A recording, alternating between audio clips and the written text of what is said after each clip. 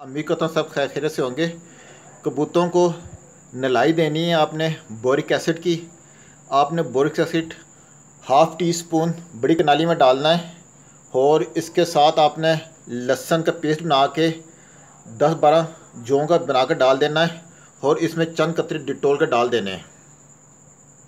ये जो boric acid है, ये एंटी लाइस काम करता है। कबूतरों के परों की जुएँ मक्खियाँ और टिक्स माइट सब ख़त्म हो जाएँगे और पर कबूतरों के बड़े शानदार निकलेंगे।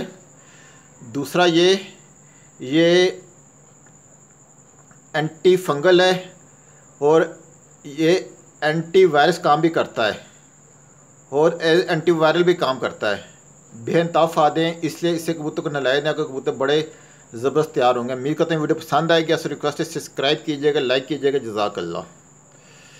और इसमें एक चीज़ हो रहा है कि कबूतरों को ये आपने नहलाई, हफ़्ते में एक दफ़ा देनी है इससे। एक सौ दो दफ़ा महीने में सिर्फ़ आप दें, इससे ज़्यादा ना दें। जजाकल्ला